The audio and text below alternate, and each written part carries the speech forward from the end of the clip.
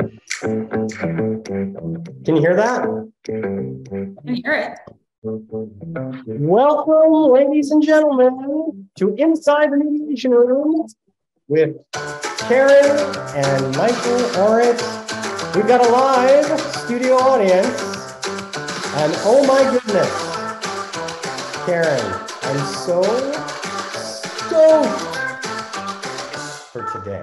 Chip Rose. Chip Rose is here. Oh my. Chip Rose. Whoa. Woo! Whoa.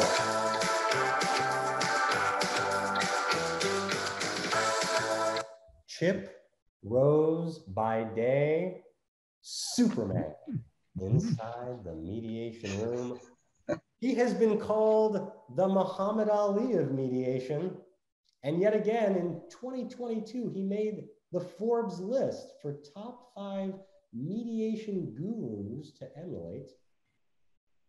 Chip Rose is with us. Oh my goodness. We are so grateful to have you, Chip. Chip, um, Chip, you are truly one of the first practicing divorce mediators in the world. Uh, in 1981, Chip founded the Mediation Center in Santa Cruz. He is a APFM, uh, former APFM president and lifetime award honoree. He is such a beloved trainer. He is trained everywhere. He's written uh, numerous publications. Uh, he's the author of the book Collaborative Family Law Practice. He's contributed to just about every book here uh, in the background. Just a hero of ours. Chip, welcome to Inside the Mediation Room. Happy to be here. First, a little humbled with the introduction, which I is the part that I always want to get past the quickest. uh, Superman himself. That's how we see you, Chip. Um, that's yeah. how the field sees you. Um, most importantly, uh, before we get into a slew of, of, of questions, um, and we cannot wait to hear your thoughts, the most important question begins with Karen.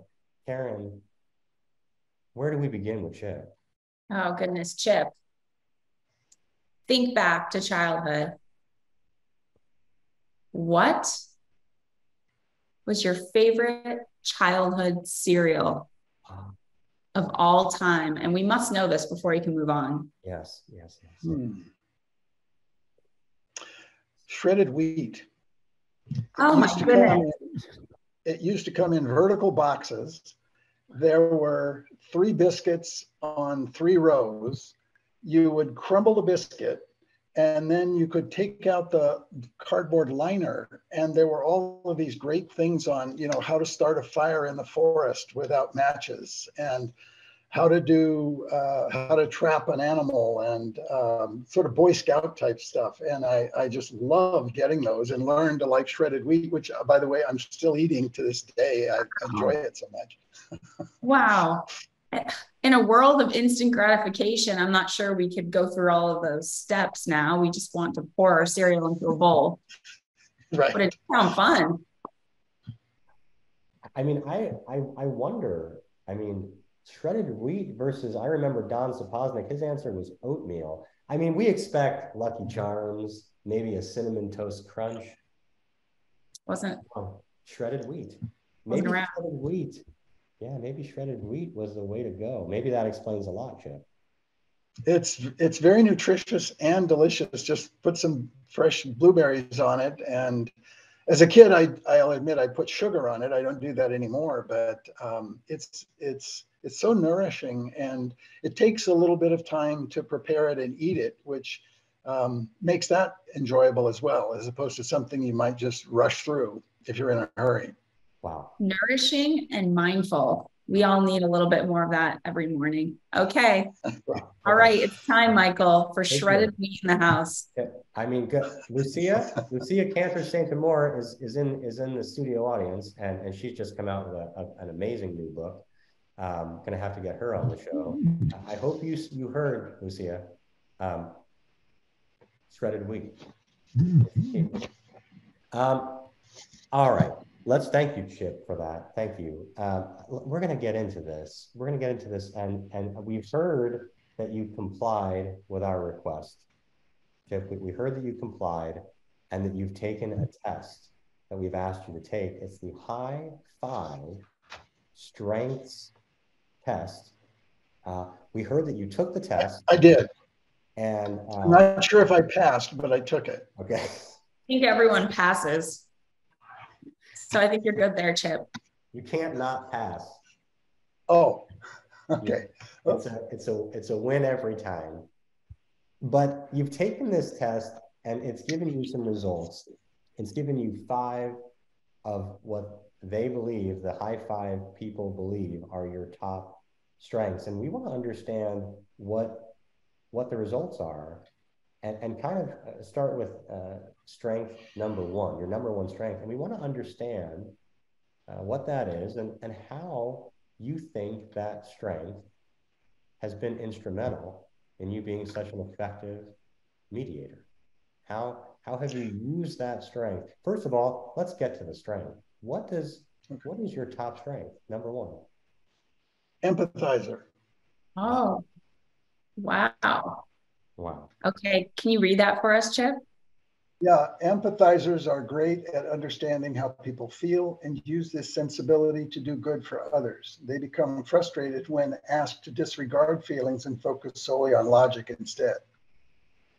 Was this the first time you knew you had the strength, or do you think you might have had an inkling or two in the last? No, I, I, I mean, I've, I've, I've been aware of um, in fact, I've used the term um, empathic behavior um, throughout my mediation um, experience, uh, career, really. Um, uh, my mother, I think, was a great empathizer. And what's interesting about this, though, is that it says uh, that they, meaning people of this category, become frustrated when asked to disregard feelings and focus solely on logic instead. So my mother gave me the empathic characteristics and, and uh, genes. And my father gave me logic. And so part of my logic side uh, has to struggle a little bit with the empathic side to decide which one is going to be uh, more appropriate in responding to the circumstances. But that's sort of the yin and the yang of, of those characteristics. Interesting, interesting. And how do you see that play out in mediation? You said your mother had the empathic side and your father brought you the logical side. So, how did you find yourself using both of those in mediation? Well, the empathic side was easy because it would help me uh, sort of use that to connect with clients um, um, and, and connect with clients on a primary emotional level. Um, the logic side is extremely helpful in trying to find a path through complicated situations. However, where the logic side uh, comes up against the empathic side. Um, and I can sort of say this as a, as a bit of a generalization, but more often than not, I have found myself pushing a logical perspective on, um, and I would say the overwhelming number of times would be a woman who needed an empathic response from me, not a logical response. And early on, I wasn't very, I didn't get that fortunately, over time, I, I learned and uh, was able to read the signals um, more quickly and change my response, uh, focusing more on um, empathic understandings than simply the logic of, you know, here's a pathway through the forest here, uh, which people aren't always ready to hear. That's something you really learn in mediation. It's, it's not about just seeing a potential solution and telling them and then they'll embrace it. It's getting to know them well enough to know what do they need to do to be able to ultimately embrace that since they're ultimately wanting to get to solutions, but not always ready to. Do you find that that's that was that's actually true uh, inside the mediation room, Chip, on kind of a moment to moment basis that as you're moving through conversation with clients, that actually oftentimes you start even a statement with some empathizing before you get to the logic, or you start a monologue, you, you monologue and, and, and show that genuine empathy and then move into the logic.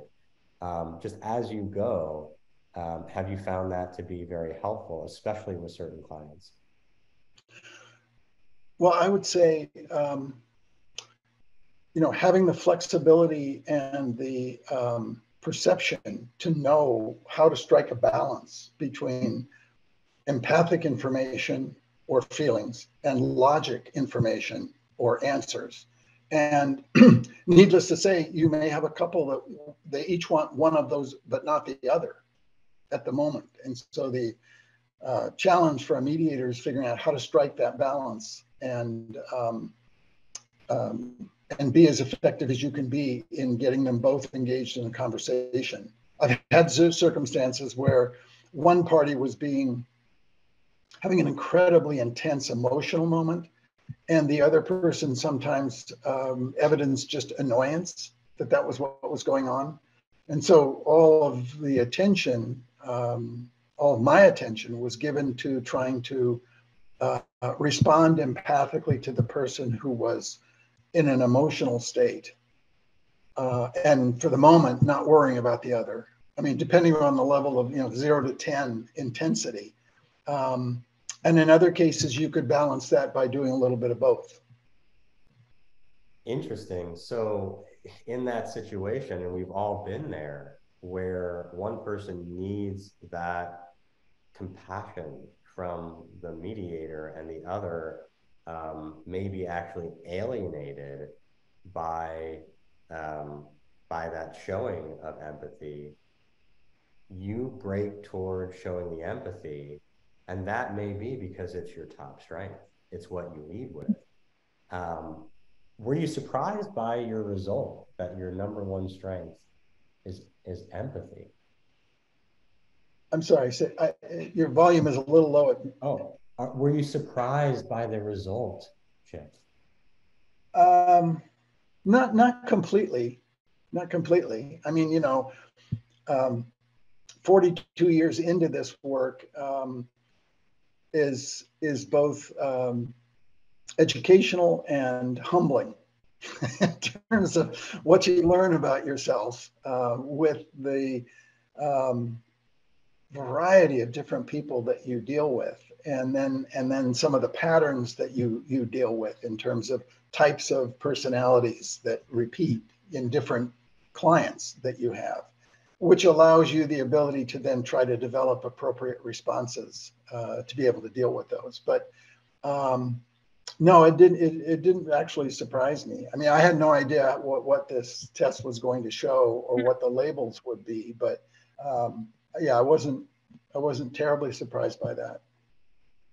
And Chip, just out of curiosity, what were your other four top strengths? There's five strengths on the test, and your first one was yes. The second, yes, the second one was uh, peacekeeper. Wow. The third one was strategist. The fourth was problem solver, and the fifth was coach. Oh my goodness. I I'm not entirely sure I've ever met somebody who had every strength fit so well. You know, you, I'll tell you, being a mediator, Chip. You really should go into mediation. I, I was thinking about it as an alternate career because uh, might work out. You know, this this concert violinist is just not uh, paying out. No, I grew up in a um, uh, middle class. Um, I'm going to say um, regularly conflicted family. I don't want to say high conflict uh, because it doesn't approach the kind of stuff that Bill Eddy uh, has been so effective in teaching us. But my parents, there was tension practically every night, but there was never, um, arguments didn't break out much and there was no physicality to it because, among other things, my father would just retreat uh, to his, um, his bedroom home. He lived, they had separate bedrooms from the time I was in fifth grade. And I was the, I was the third child, two older sisters, firstborn boy. I was really protected. Um, you know, my parents, ne- it never got to a point where um, any, there was there was never any violence. It was just tension and and personality conflict between the two of them. They they evidence such different personalities. And so, and I and I had two older sisters above me to kind of buffer it. So um, I found when I um, first turned away from doing uh, traditional divorce work as a lawyer, which uh, I found, I mean, I, I had a case when I was working in a personal injury law firm and they had a, a, divorce case, they gave it to me. I just found that I was very comfortable working directly with the people. And over time, as I got a few more cases, um, I found it far more interesting than suing insurance companies and, um, you know, negotiating settlements, all of which felt like it was, there was a kind of an artificiality to it and a disconnect um, and when I dealt with people going through divorce, there was a real connection. Um, and I realized that I was um, pretty comfortable in conflict.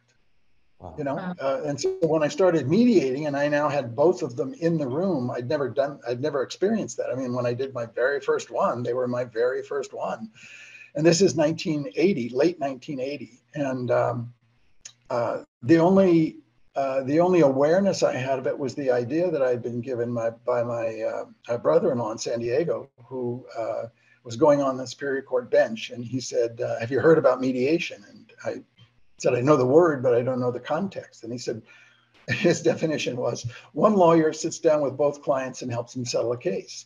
Well, in, in 1980, that made great sense to me, and it was practically revolutionary. You know, like, well, can we do that? Will the state bar yank our license? And so immediately uh, I thought, well, I, am hearing that this is starting to happen, so I guess we can do it. And uh, no sooner did I invite the first clients to come in than I just um, I felt at home in that environment. I felt like this is good. I've got both parties here. We're talking. We're using we're using real language and talking about real concerns and real feelings, none of which was going on in the kind of uh, personal injury uh, typical civil litigation, yeah. um, where everything seemed to be a slightly artificial. I, I remember, Chip. Oh, go ahead, Karen. What a powerful, powerful story. Um, you said that you you realized you felt comfortable in conflict, mm-hmm. and when you had your first set of clients, you felt at home. Well, that's, yeah. that's for sure coming from your gut.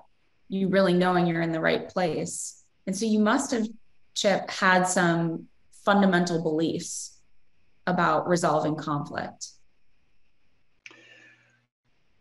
Uh, well, I mean, going back to the very beginning, um, I guess an uh, uh, an intrinsic belief that that was never articulated in my brain was that um, if people were shown a path, they would prefer to find a way to settle that was beneficial to them than beat their head against the wall because of their anger or emotion or upset. Now that was that was an unarticulated, just kind of intrinsic. This seemed the, the, the, this seemed to work, and it seemed to be moving in the right direction. If I if I articulated that now uh, in a in a, a more experienced uh, core belief, it would be that the rationality of self-interest can be the uh, life ring that most all clients can grasp. Not all, there are those that can't. But um, so what? So I, I, when I'm doing my initial consultation with clients, I'll say, um, this is a process in which your self-interest is perfectly appropriate, and I and I want you to know that coming in. There is nothing wrong with with saying, well, what's in it for me? And I said, and even if I told you there was something wrong, you're going to feel that way anyway. So it doesn't, I may as well just acknowledge it. However, in this process, the other side of the coin of self interest is mutuality. And you will not maximize your benefit, a term I got from Jim Melamed. There's a great story about that. Um, you will not maximize your self interest without the other person with whom you're negotiating doing the same. Everything else is less than full any outcome is less than full, and a litigated outcome is, is barely a fraction of, of what you can achieve. And that's a challenge because self interest wants you to think just about yourself. The mutuality side says, wow, I have to think about the other person. And uh, so, one of the things as a mediator, that I think is such an important role that we play is uh, when we're helping the clients negotiate, and and I've always chosen to do that in a um, help them prepare their proposals in a caucus format. There's a lot to talk about about that. And in that caucus format, I'm helping them do something they often can't do, which is looking for the looking for the marble that would be trading to create a mutual interest, oftentimes in things that are completely unrelated. Um, I had a um, about a year ago or so, I was uh, dealing with a case of two um, uh, people who uh, the wife was just going back into employment after years of child raising, and the husband worked for one of the high tech companies in Silicon Valley. And they had been separated for a year uh, before we actually started the negotiation. And she said, if you'd agree to let me participate in your 401k up to this last December, a year after they separated, which under California law would, would have stopped the community interest a year earlier, I'll agree to shorten spousal support to this period of time instead of leaving it open.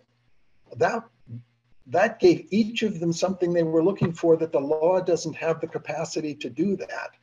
And so, you know, the ability to help them uh, explore things and be mindful of, well, what are the interests that I've been hearing sitting here as a mediator, listening to each of you, and I'm doing something that you, neither of you are doing, is I'm listening to the other person and I'm looking for clues of how to bargain with them. And, and so then helping clients find those things and try matching them up to see if they'll work, um, I think is uh, something they really need because uh, oftentimes they're just um, so close to the forest they can't see the trees, or they're so close to the trees they can't see the forest. I forget which way that goes. So, so here's here's trees in a forest somewhere. Uh, so, Chip, inherent in what you're saying, kind of your your initial belief, and then how that's evolved. Is it is it a stretch to to uh, reframe and summarize this as you do believe that if people understand that their self-interest is part of the equation, that truly everybody, or maybe just about everybody, wants to settle. Everybody wants to settle. Um, is it a healthy belief for a mediator to go into mediation believing, you know, they, their behavior may not show it, um, their attitudes may not show it, their words may not reflect it, but at people's core, people want to reach agreements. True, not true in your experience? I think I think that uh, no, I, I, I mean by and large, uh, yes, absolutely they do. But I think their first thought coming in is self-interest, and so part of what I try to do is validate for them. That's a very important role in this, and and you need to focus on self-interest. But guess what? In a um, maximized negotiation, it comes at the cost of becoming aware of how you can help the other person achieve his or her uh, self-interest and that trading of those, what I call marbles, when I'm dealing with them, try and just normalize it. Um, that those two things are, are, you can't separate them.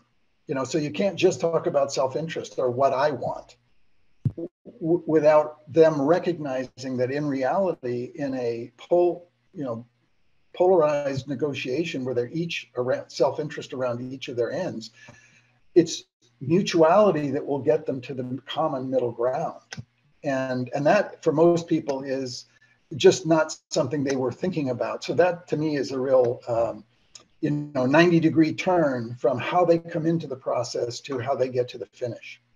I, I really wonder, Karen, if that is something that mediators can look to in terms of their marketing. I wonder if we're too focused on the idea of compromise, the mutuality piece right? That's really what we're putting out there. Is yeah, and the word compromise for most people means I don't get what I want. Right. You know, right. so you, it, I've always felt that you have to meet them where they come into the room.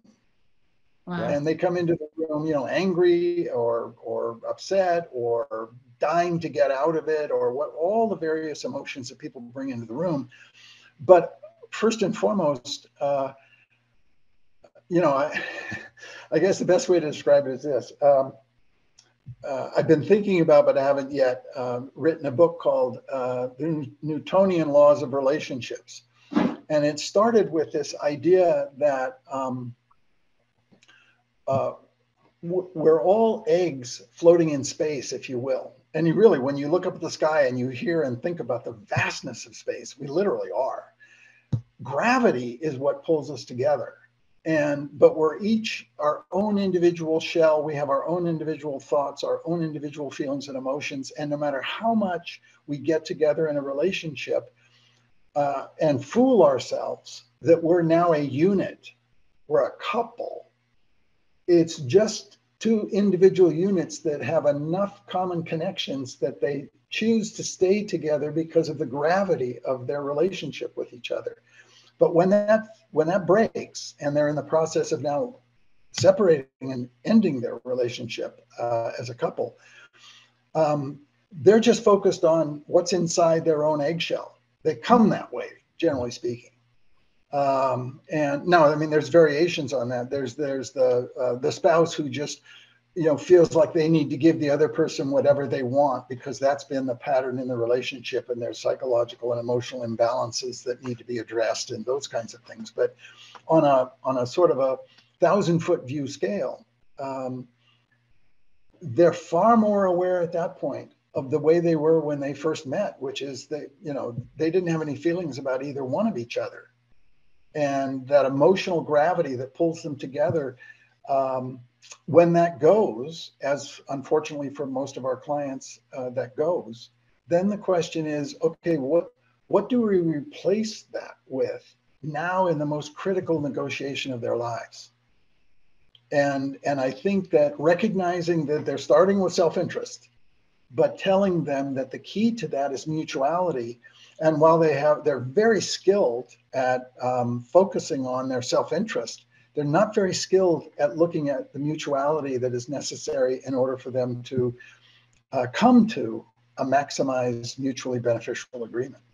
Gosh, it reminds me not to relate it to to parenting, but you know, we have a four and five year old, so I relate everything to parenting. There's this term I've read in, in several books called connect and redirect. So if your child is having an issue and um, maybe scratching or biting, you want to get down and connect with them first. Instead of correcting the behavior, you want to connect and say, I understand you're frustrated.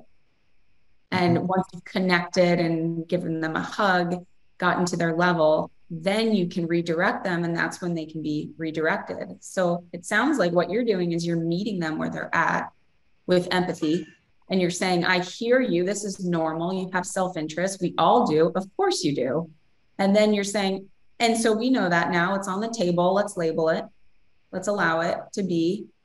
But there's a better way. And that's that's for us to find an agreement that works for both of you. And that's where you bring in that logic. Yeah, I think that absolutely, Karen. I think that um, I think that so many uh, of us um, think in terms of the the kind of characteristics you describe if you were um, saying what does this process consist of?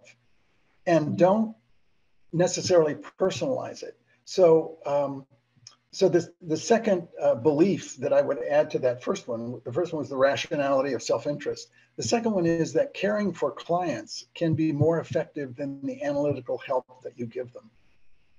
Oh tell us more. Well it um, it took a while and you know i mean a number of experiences because it was all brand new to me as i was doing this. And quite frankly i was just kind of looking for a settlement compromise model you know how do you how do you come up with an answer that doesn't involve going to court? But as time went by i found that um, clients aren't always ready for uh, the analytical help that we should have the capacity to give them and sometimes what they need most is just uh, being heard. We talk about that an awful lot, right? Uh, and and being understood, and and that's where I think the um, empathic part of our roles as mediators uh, can can be so critical.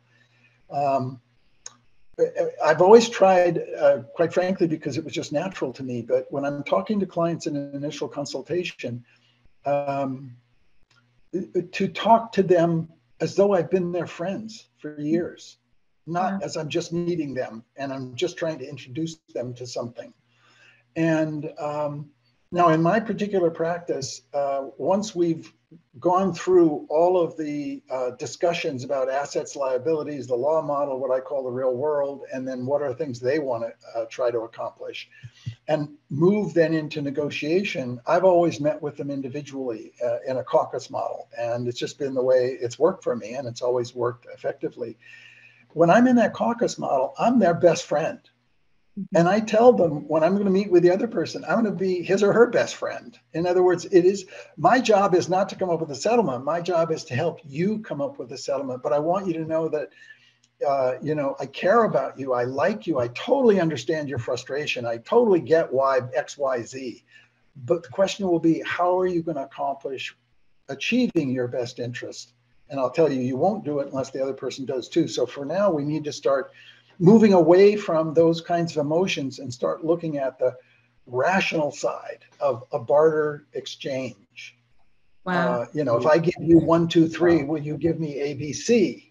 Yeah. And then exploring the differences. And it's really, it's always been one of the most exciting parts of um, the process for me of remembering, you know, and I always try to remember this when first time I'm meeting with a couple that what it's going to be like when we get to the negotiation phase. Because by then, even if I'm having to give them a whole lot of guidance on how to negotiate um, strategically, not emotionally.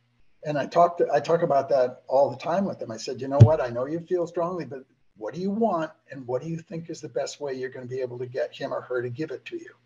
Well let's look at what the other person wants. And um, and then when they start actually doing that and and you start seeing the shape of the settlement um, it is not at all unusual for once the core pieces are kind of identified uh, for them to often sit down with each other and flesh out the details themselves.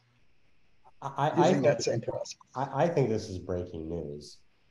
I really think it's breaking news I mean, Chip, you are one of the originators of this process, and yet today you are still absolute cutting edge, right? Whereas the field, in so many ways, approaches with a, a methodology of um, maintaining some distance. Um, you know, uh, the idea of neutrality at impartiality. You cannot show support for either side. What you're doing is going the opposite, right? When I'm training right. a mediator, uh, one of the first things that I say is, "Hey, start. You know, try this. Hi, my name is Michael, and I'm your friend." Not to actually say that to clients, but hi, my name mm-hmm. is Michael, and I'm your friend. Hi, my name is Andrew, and I'm your friend. Hi, whatever your name is, start reciting that mantra to yourself. Say it out loud, say it in your head. Because when you enter that mediation room, they need to feel like they are supported. You can support both mm-hmm. clients. You are there with both of them, for both of them. You can do that and be their friend without taking a side and favoring one over the other. But it's that kind of connection, especially, by the way, Colin Rule, uh, watching as we speak in the online model, it's about the connection. If you walk in to any mediation room, online or in person, and you have that belief that's a game changer in terms of the trust that they have in you and in terms of the honesty that they're able to have with themselves and with one another. And that's going to impact their agreements, that's going to impact their life. Over time, um, I found myself uh, modifying my initial consultation um, so that um, I would say to clients, um, a mediator is expected to be uh, neutral. I said, I don't know anybody in this planet who's neutral. I mean, how, how, as human beings, how can we be neutral? Uh, and just as an aside, I've had people, I've had um, my, my memory bring back a big burly California highway patrolman who was probably mentally and emotionally abusive to his wife, uh, not physically, and uh, and she just cowered uh, in in in the face of him. And when we got to negotiation, I needed him to know that I care about his outcome as much as I care about hers. And so that kind of dealing with the kind of person that you'd never want to be have to sit next to on a, a cross country flight, you know, uh, and and be engaging with. You need to feel as caring about that person's outcome, and in part, it's easy because the other person's outcome depends on it. So that that linkage, that organic nature of um, of how their interests can find um, common ground um, allowed me to tell the clients, uh, first of all, to get permission. I've never gone into the caucus negotiation format. I don't do that at the beginning, but I do that at the end. Um, without both of them saying, yeah, we're fine doing that. And I said, I want you to both know I'm going to be um, helping you to achieve your maximum outcome. But if I do that for each of you, you have a greater chance that you will. And I have no I said, I really have no interest in the substantive issues. Keep the kids, sell the kids. They're not mine. You know, uh, as, a, as a humorful way of helping them understand, I don't have an agenda except their success. And they've always given me permission to do that. I've, uh, I've, um, I've had numerous times when I would have an individual phone call with one or the other, and uh, the rules around that for my process has always been I won't talk about anything new, but I'll go over anything we've already covered that they're having an issue with uh, in terms of helping them get to the highest level of um, mental and emotional and strategic negotiation by whatever they needed to do that. And I tell the clients that, and they go, fine, that works. I'm okay with that. Wow. Wow. So, Chip, what I'm hearing you say, and there are a lot of, um, I imagine, new mediators who are going to be watching this over time. You're saying drop the professional persona. Let's not keep a distance here. Let's not keep this invisible wall between us. Let's, yeah. I'm your friend. I'm your friend too. And we're here together. And you're building trust with them. You're being Chip. You're being authentic, which we all love you, Chip and, and with that you're building that trust. And so what is it doing? It's it's allowing them to relax a bit. And then they're able to more clearly articulate their needs and their wants their interests. And that's where the negotiation comes through. So it's really like as Don Saposnek says like an art and a science.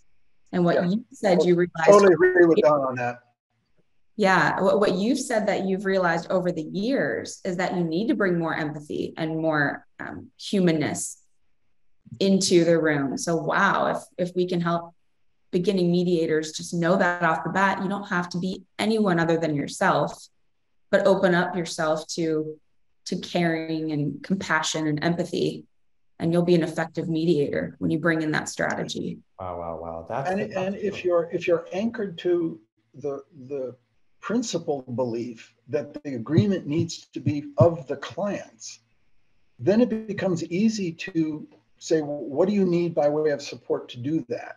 And in the course of acting that way, it always felt that it allowed me to be genuine with clients, not artificial, not artificially professional, not artificially intellectual, not artificially anyway. Um, and I could um, converse with a client about um, think things that I might observe about their behavior that I think is is is is hurting them in terms of the other person's reaction. Like, I, did you notice the other person's reaction when you said that?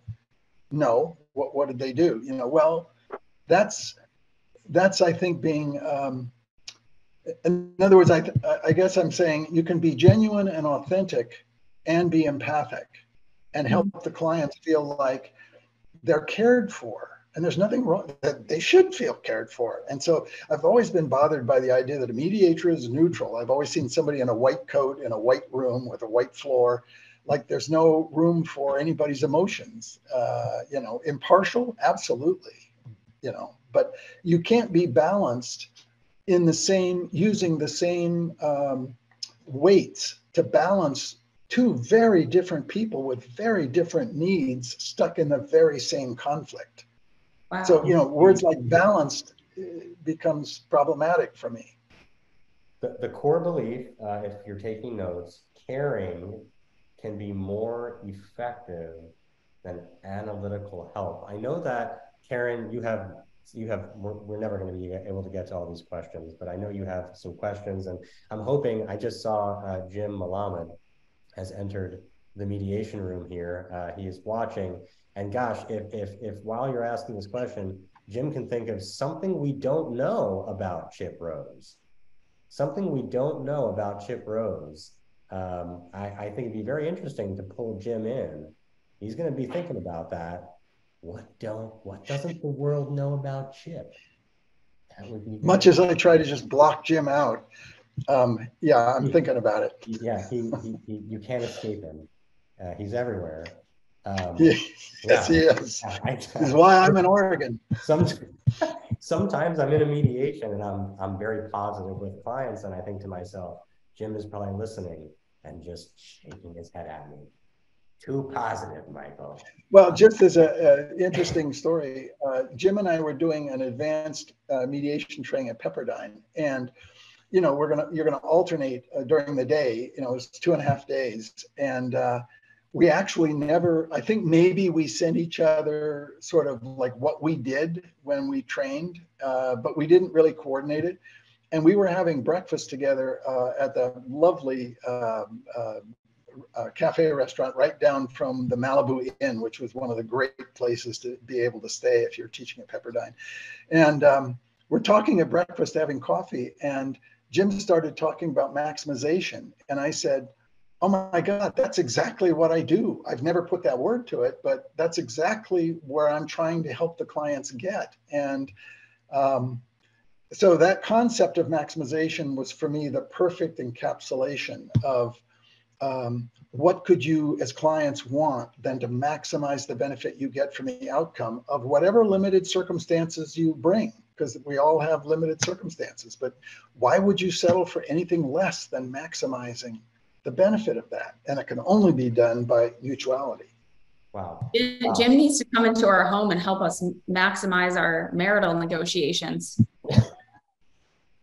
Whoa. Yeah, that's uh, by the way, I, yeah, I, am there too, and that's where that's where objectivity and professionalism goes out the window. easy, easy. We just want Jim into our home, Whoa. doesn't yeah, everyone? let's just get Jim in here. Jim, you can maximize our anything. Um, yeah. All right. Uh, okay, Chip. Yeah, this has been amazing. I, I wish we had all day long. So tell us the why. Why are you dedicated why do you feel dedicated after all of these years? 1980 is when you started your practice. What keeps you dedicated to divorce mediation? Divorce, high conflict, high emotions. Karen, can you imagine? Well, can you uh, inserting uh, yourself, Chip, time and time, year after year, you are inserting yourself into conflict. Decade after decade after decade, you're still doing it. What a great question, Karen. I'm sorry, it was such a good one. What has inspired you to do that? Um, I get clearly, I get. Um, uh, there's two things really, two tracks. You know, one would be um, I love the challenge to see if the next couple is going to be so completely different from all the other couples I've worked with that I'll have to figure something new out in terms of a strategic response or intervention. So there's there's there's that little piece of it, but more than that, I think um, I just get huge satisfaction from taking people who are stumbling around the forest, banging into the trees, and helping them find a constructive outcome um, as an ancillary benefit of that, I always feel, uh, although it's it's it's slightly more distance, um, I feel good for their kids if if mom and dad get through this without doing any more damage to the family than has already been done by the time I see them. But mostly, it's just um, helping people not only find a way out, but to learn. And you you actually can do this. You're capable of doing this. In fact, you're the only ones who are capable of doing it on the highest level. And so there's the individual challenge with each client, getting them to buy into that. And all the things you have to do going through the process, starting with the initial consultation, which I've always thought was really critical.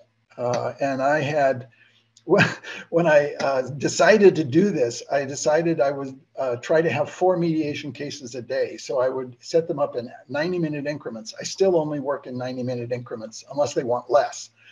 And so in a work day, that allowed me uh, a session in the morning, a half hour break in between, a session in the afternoon, lunch, and then the same thing in the afternoon.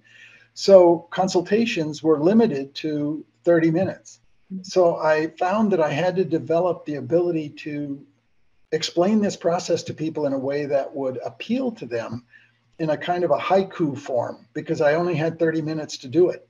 And um, that that was a, a, wonderful exercise in sort of focusing your mind on distilling down what is the most important things for them to hear and what do they need to hear? You know what do they need to hear? And clients always respond in that to the truth, you know, which is the legal system isn't going to give you your best outcome. It's there, but you know, it's not going to give you your best outcome. It doesn't even have that as a goal. It simply sets the lowest common denominator for separating couples in marriage by standards that apply on the most basic elementary level. Um, but that should never be anybody's goal if they really care about where they'll be a year from now, two years from now, five years from now. Um, so helping them, the challenge of taking people who, um, on some level, want to work with you as a mediator, because especially now these days where it's been around long enough that people know what it means, but their emotional sides go, but I don't know how we'll ever do that, and and sort of you know give them an, uh, a handhold to first just get them into the process. That's all. Just get them to show up to a first session. Wow. And then if they show up to a first session, what they experience in it, which involves empathic understanding, which involves some answers to things, which involves a structure, uh, which involves guidelines like um, it's critical that you both make this a safe place for each other to express yourself. Um, and uh, so, so for me, I've always done that in uh, metaphorical pictures. Yeah. Um, I had this wonderful old couple. This became a core aspect of, of my process. I had this wonderful couple. I say old, now they were just kids as I look back on them. But they came in and they were probably in their late 60s, maybe early 70s even, and said, you know, well, we've been together all these years, but uh, we just can't seem to get along. And um, so, you know, we, we, think we want to get divorced. So um, I went through this uh, explanation spontaneously at the time. I had a whiteboard and I went up to the whiteboard and I drew a long rectangle and I drew a line down the middle. And I said, well, in this process, imagine you're in contiguous backyards with a five foot fence and each of you is saying, I'll do my thing completely openly and in front of you if you do your thing completely openly and in front of me. And I said, you know, as a divorce lawyer, all I ever needed was access to the other person. And, and in this process, you would be proposing to say, I'll do everything in front of you. And the price you pay for that is stay in your own backyard.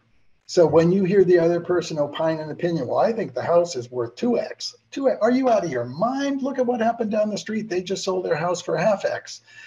Let that person speak their piece. Let them do their process and just observe. And if you have a legitimate question, like, are you interested in this? Feel free to ask it, but be respectful over the fence.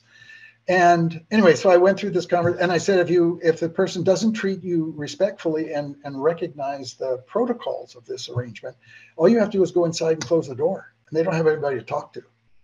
Um, uh, so that was that. They left. Wow. Um, I, obviously, I told them more. They came back in about two weeks, and they said, um, "You know that thing you told us in the consultation?" I said, "Yeah," and they said could you go over that again? Because we think if we can embrace that, that we can stay together. Now, it wasn't my goal to have that happen. It was just my goal to say, you know, here's a path forward. Um, but I, that that had such a powerful impact that I've stayed with that backyard model as a way of saying, what we're going to do is incredibly intimate. It's familiar, but it requires each of you to do this more like your neighbors rather than your spouses. Wow. And so, you know, embrace embrace that the kind of courtesies you'd extend a neighbor that you're emotionally not even thinking about extending a spouse. And I've, I've used that metaphor ever since. wow. Um, just boundaries, right? Yeah. Boundaries. Yeah. And boundaries, absolute boundaries. has anyone been hearing the, have you guys been hearing this? Well, they can't answer you, Michael, but I think so. Uh, What, it sounds like, it sounds almost like, I mean, his ears must have been burning. So, Jim Melamed. What is going on here? What? He's been banging on the door to get in. Wait, oh, look at that. Look, crashing the party. Cra- Crashing the, was that you, Jim? Was that you making all that ruckus? Just, just testing your security. Wow. Uh, All right. We've been Zoom bombed. Wait a second. Uh, uh, Chip, Chip, we, we need a few more minutes with Chip, but you're the, uh, the Q and A is very active. I mean, there's, you know, there's talk, talk about David Geffen's home and, uh, putters. Uh, what do you got? What dirt do you have, uh, on Chip? You're going to share with the world. don't, don't, don't have uh, time for all that. Uh, the, I, I wanted to ex- extend one concept, which is the the empathy concept. Um, but I think you know empathy is a part of developing rapport. You know the, the effective working relationship, and it's it's not just empathy; it's also competence and experience and authenticity. So just want to do that, and then the other thing is, you know, Ch- Chip is the perfect example of really uh, family mediation, particularly becoming sophisticated. And, you know, against this background of cooperation, collaboration, working together, optimization, maximization, we're coming out with killer settlement agreements that are just amazing. And over the course of time, the marketplace has spoken to the value of that. And my main point here is for, for mediation generally, it's the ability to facilitate an optimized set of arrangements that is our secret sauce. No, no other process is set up to do that. And we're set up to do it capably, comfortably, affordably, and now online, you know, at half the price when it comes down to it. So, Chip, what your real place in the field, I think, was to confirm the sophistication with which we could develop solutions, e- big bucks cases, complex cases, you name it. And uh, you know, I think your your value was huge in elevating the overall quality and sophistication of our work product. Wow. Jim, you had me at secret sauce. The uh, now the other thing I was just saying in the Q and A is that despite owning the world's most expensive putter, uh, Chip's putting on the golf course has just gone downhill ever Wow. since he got that putter. Whoa, And, whoa, uh, whoa, it's getting I also want to mention Chip used to be able to outdrive me, wow. but I think I'm on. I will we'll so often go to the course, hit a couple of drives, and they end up about three feet apart. Should I so cut him off, Chip? Should I just cut him off? Yeah. Come on. No, I think he, ne- I think he needs this uh, Yeah. as, as some kind of validation. Yeah. Um, Oh, there's But, the uh. All right. All right. But we have different qualities, and we've always thought that we would we would do very well together in a in a team golf event because it, certainly uh, pre- previously I could significantly outdrive him, but his fairway shots and putting were um, were something I was always aspiring to. Jim, stay on your own putting green, and and Chip will stay on his own putting green. Jim, thanks for the drop in. Always lovely to see you. Uh, wow, Chip Chip Rose and Jim Melamed, the dynamic duo together on Inside the Mediation Room. You won't see that every day. Bye, Jim. Uh, we have a few more minutes here with Chip. Thanks for joining. All right. Amazing, amazing. Uh, wow. Yeah, see, we have Wow, some that was great. news. Uh, Karen. All right, final 10 questions. Wow, the final. We're going to go at it quickly. We The have final three. 10. These are the 10 questions that James Lipton made famous on Inside the Actors Studio. Uh, they were originally asked by French talk show host Bernard Pivot. And um, who begins, Karen, you or me? You go. Number one, Chip Rose, who we thank so dearly uh, for sharing everything you have today and for your absolutely unparalleled career. Question one. Thank you. What is your favorite word? Escarpment.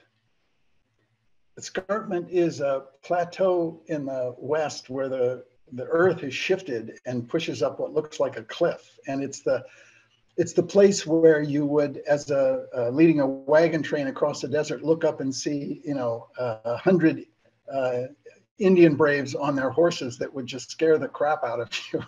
but the escarpment is just the word. I love the way it sounds, uh, you know, and you see them everywhere you go. All right. The other word, the other word that's the other word that's right close with that is copse, C O P S E, a copse of trees. It just sounds so lovely. It's a it's a it's a group of trees that are sort of by themselves called a copse of trees. We I just love the way that sounds.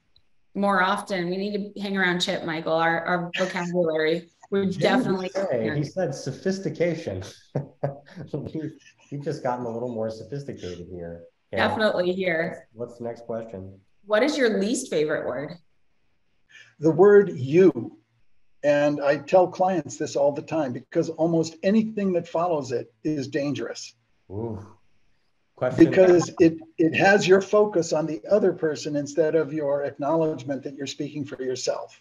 So, well, all you care about is, or all he wants to do is, it's, it's, it's, uh, it, when I tell clients, I want to hear you use the word I, because almost anything that follows the word you is going to be bad or it's going to push the other person away. So just speak for yourself and that'll be that's all we need is for each of you to speak for yourself. Well, and the other the other second most dangerous word is we because it presumes you have the right to speak for the other person. Now, in normal marriage and lives, you know, you, everybody's comfortable enough that that only every once in a while that you get your spouse kind of going, "Oh my God," when the other spouse says, "Well, we like" or "we something," but when you're in when the relationship is fracturing, it's it's a dangerous word. Wow. Wow, wow, okay, unless we say we like you, Chip, because you are the best. If we're not saying that, probably need to not. Awesome. Very kind of you. All right. All right. With two minutes to go, in just a word or two, question number three on the questionnaire. What turns you on? Two year olds hugging. So sweet. What turns you off? 40 year olds expressing disdain from their for their partner. Mm-hmm. What sound or noise do you love?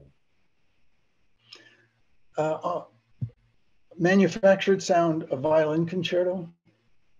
A natural sound, rain. Mm. What sound or noise do you hate? Um, leaf blowers and crying children.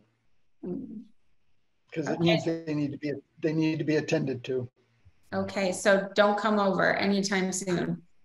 Oh no, no, no. I mean, uh, you know, it, it just it just it just means sometimes you need to let them cry because it's actually a healthy physical development. So it isn't like it's always bad, but when they're crying because of a need or pain, um, I, I just hate hearing that. You know? Yeah. Number seven. What is your favorite curse word? you know, I struggled uh, with that idea um,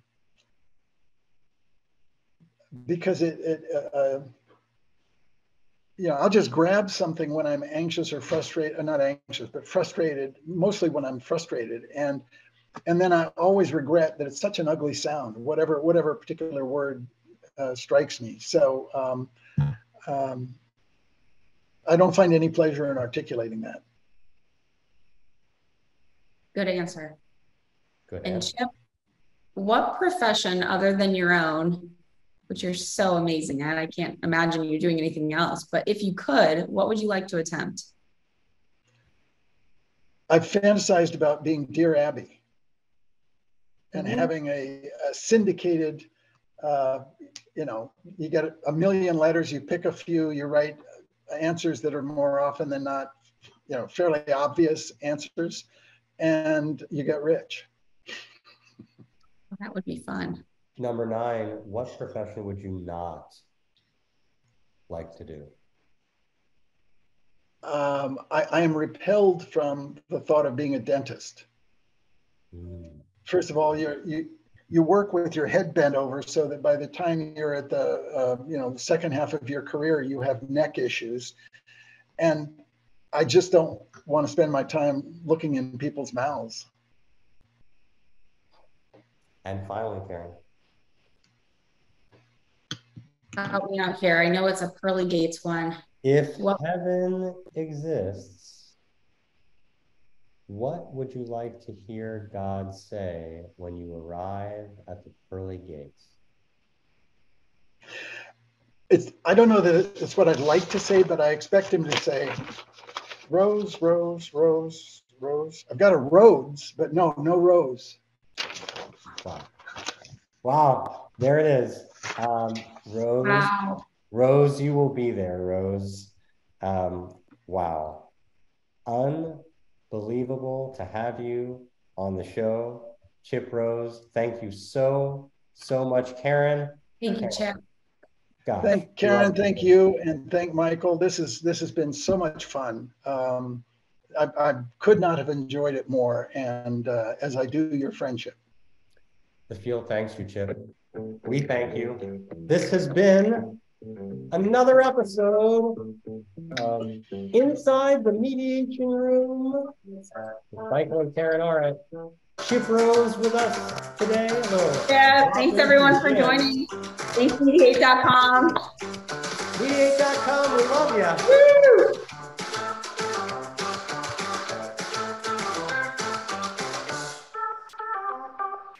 Bye, everybody. Thanks for joining us.